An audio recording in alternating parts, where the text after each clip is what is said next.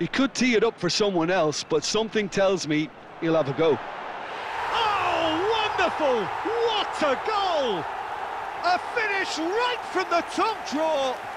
Look, before we can even delve into the detail, running or cutting inside or, or just stretch. He's gone for goal! Magnificent! No, he wasn't going to be fooled. He's got a side of goal! Oh my word! Costacurta.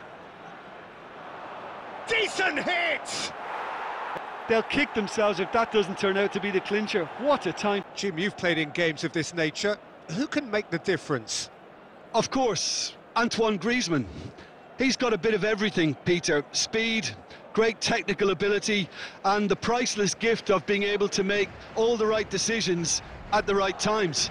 Personally, I really like the way he can always take a little touch to give himself that half a yard of space. He needs to get a shot away, and he doesn't miss too many either, does he? Yes, getting the best out of him will count for so much. Works it forward.